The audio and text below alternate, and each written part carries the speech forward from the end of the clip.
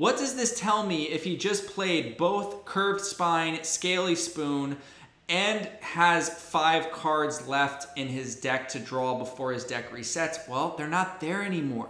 He's not gonna redraw these. What's going on, Axie fam? Elijah here, back with another video. And today I have one I'm very excited about that's gonna explore one of the newer mechanics added into Origin, which is the ability to retain a card by spending an energy and thus drawing it in the following round. As we can see here, METAT8's making a presence on the leaderboard. Ryan hit rank one just the other day. He can't play right now. His game is bugged for some reason. We're hoping it gets fixed soon. But make sure you subscribe to Ryan. I'll leave a link to his channel in the description below. Also, subscribe to the METAT8 YouTube channel where we're putting out tons of Origin content to keep you up to speed on the newest and most powerful metas. I'm gonna be putting content out there, Ryan is pumping it out, and we're probably gonna even get 1437 to make a debut there very soon as well. So subscribe to METAT8. First things first, I'm gonna do a quick update on the bird comp I'm using. My last video was on birds and how strong they are right now. The adjustments I've made since then is I no longer longer have a plant up front, but I have switched it out for another bird that kind of looks like a plant, but has eggshell and blackmail on it. And I think this is the biggest change that I made that if you're maybe looking to take your team to the next level, ensuring that you have three pigeon posts to put max pressure on their backliner and also have the most card manipulation as it clogs up their hand every time you play it by giving them a blackmail is a really critical component to take this to the highest level. But if you're still climbing up the ranks, using a plant. It's all good.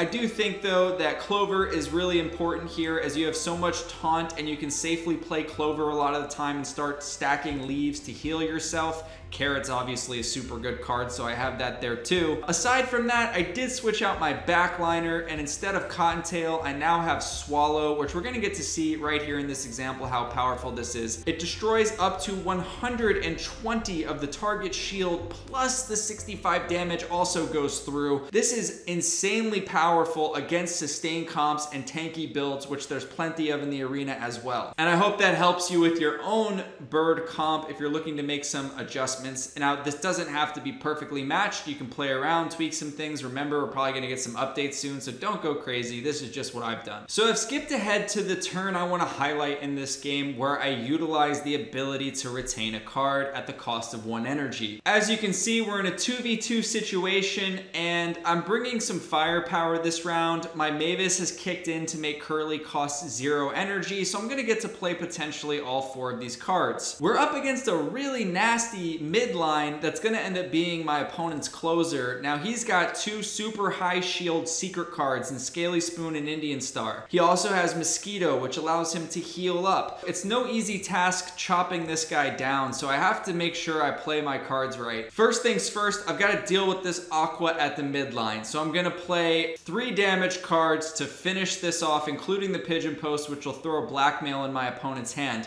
Now here's the kicker. I've got one energy left. You might just be on autopilot and say, hey, I need to use all my energy, do as much damage as possible, and play the Swallow into his mid lane. Now that would be a huge mistake in this scenario. Once again, Swallow is a shield destroyer. It helps immensely when your opponent brick walls, and we wanna actually hang on to that this round as his reptile has no shield up right now, but is very likely to put a ton up in the following round. So I'm actually gonna use an energy to put this back into the top of my draw pile. As you can see, it's already gone into effect, and I'll be making sure that I pull that one out in the next round. On to my opponent, and sure enough, he got both Scaly Spoon and Indian Star. He's going to get rid of the blackmail, play Sakura, which starts to uh, allow him to heal up and be even tankier, and throw up 164 shield. And on top of that, since Reflect stacks, this means that's 164 damage that I'm gonna be dealing back into my own face if I don't find a way around it. So now we're gonna get to see that swallow mechanic come into play. It's gonna decimate this 164 shield and do some damage on top of it. Boom! And you might notice too that the only damage reflected back to me was the bit that was left over on his shield after the swallow power went through.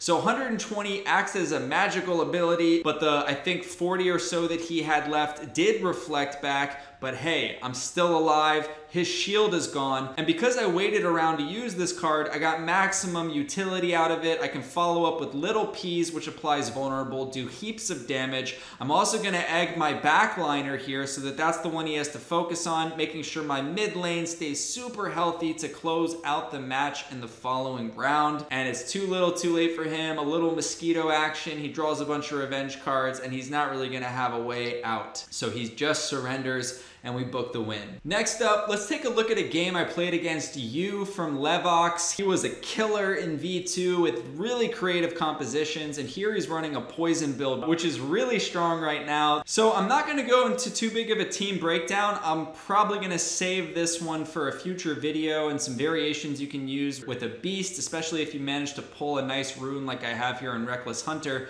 I mostly wanna focus on the later stages and the places that I had to skip to ensure the win. So let's go ahead and pick up here around turn six. I managed to chew through his front lane fairly quickly, but we are definitely not home free yet. This team is gonna start stacking poison on me. It's got ways to gain energy in Kataro. It's got Tiny Turtle to stun my axes as well. He's got some waters here for healing up. And on top of all that, has some really powerful secrets that reflect damage and also apply bleed to me, which makes me take damage every time time I play a card. And that can obviously lead to a world of pain, especially when I have all these poisons that continue to grow on my axes. So my opponent is gonna start playing secrets. He puts two on his mid lane here and Kataro into my plants, so he doesn't get any energy there because I was taunted, so there's no way for it to attack multiple axes. Now this is the first example of a round where I have three energy to spend, but I don't really have a good draw to do it, considering he has such a high shield in front of me, which leads me to my next point around around retaining, and that's that carrot is often one of the cards you want to do this with. For one, you only gain value if you're attacking and it causes HP loss to the target. In this situation, I have virtually no way to make that happen. So I would just be playing carrots into nothing, basically just wasting these really strong cards that could be of future use. So instead, I'm gonna throw the Rosa out there, hopefully avoid the secrets that he played at the mid and instead hit his back lane. Now it's random where this is gonna go, but I do end up getting a little lucky and I put his reptile on the back to sleep. So from there, I can confidently play Mavis to start stacking up energy in the future round, and that leaves me with one one energy left, which I spend to save the carrot for the following round where I can get way more value out of it. Back over to you, and he is stone cold asleep. This is such a dead round for him.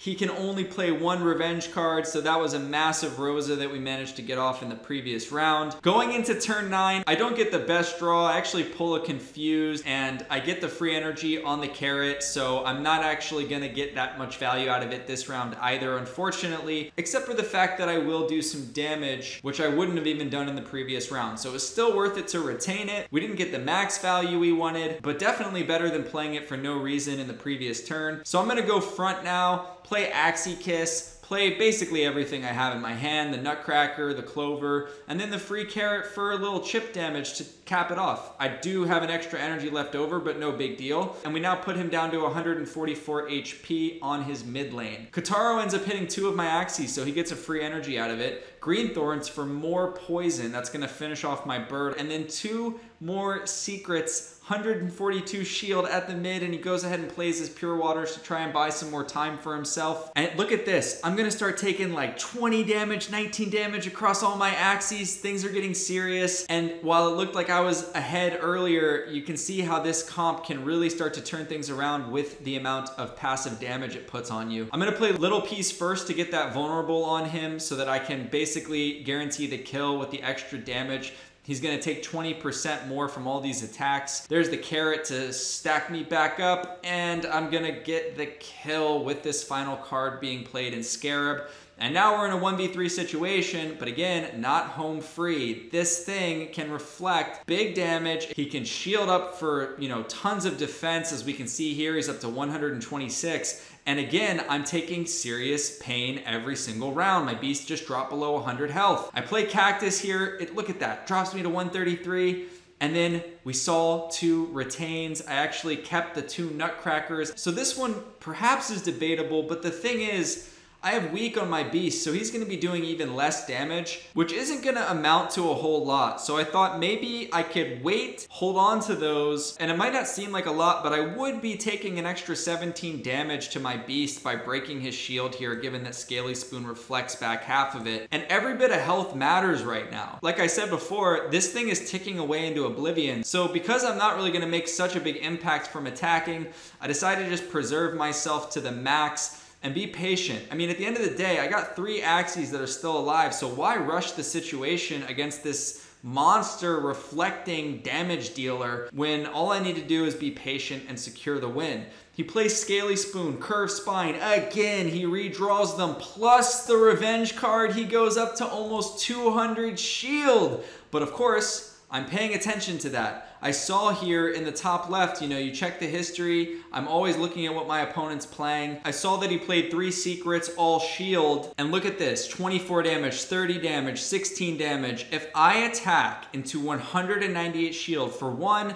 one of my axes is gonna put get bleed put onto them, and the other ones are basically gonna kill themselves. So instead, I feel like even though I'm starting to be under pressure in terms of how many turns I have left, I decided that the best thing I can do is to play one pigeon post on my front line to clog his hand up a little bit in the next round, and then go absolutely ham. And the final point I wanna make is the other thing you need to pay attention to is his draw pile. What does this tell me if he just played both curved spine, scaly spoon, and has five cards left in his deck to draw before his deck resets? Well, they're not there anymore. He's not gonna redraw these, meaning he's gonna be very, very minimal on shield in the next round. So if I can just wait it out, I'm probably gonna get the W. So instead, I decided to just play Mavis to have extra energy, Pigeon Post, I'm hoping the pigeon post makes it less likely for him to draw Tiny Turtle. That's really why I decided to play that because I don't want him to chomp into my beast on the back line, which would, you know, probably lose me the game. So here, I'm praying he doesn't draw it. I play the Mavis. We're gonna have to see what it comes down to in terms of what he pulls. And there's no Tiny Turtle four cards. We removed one by playing blackmail. He throws up a Mavis. He doesn't have that many choices. He is going to put shield up. He is going to chip away with some revenge cards, but it's going to come down to what I draw as well. Do I have a killing blow? We've been patient, patient, patient. I basically hard passed last round aside from playing one card. And here we go. Little Peas, no damage, reflect. I'm going to get to play Nutcracker, Carrot, stack back up. I'm to play the Mavis because Ronin gains benefit from all the energy that you play. He's got vulnerable on him. Play the Ronin. 151 damage and we secure the kill. All three axes still alive. But if I would have been impatient, if I would have rushed my moves there, I would have suicided with the poison, the bleed. And that just shows you that even though it's not the most orthodox thing, there's still room to pass in V3. There's still room to hold cards and use that retain mechanism. And this is just the beginning. There's going to be so many more ways for us to learn how to use this mechanic. And perhaps leave a comment below. Let me know how have you utilized the retain ability. I look forward to making future videos on how to find these little outplays and hold on to cards to get the maximum value out of them. I hope you guys enjoyed this video. Make sure that you subscribe to myself, METAT8, and Ryan, and I'll catch you in the next one. Peace.